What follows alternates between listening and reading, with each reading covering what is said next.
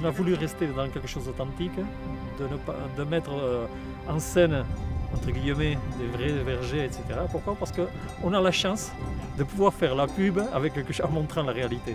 Et ça, je crois qu'aujourd'hui, c'est vraiment c'est notre chance immense.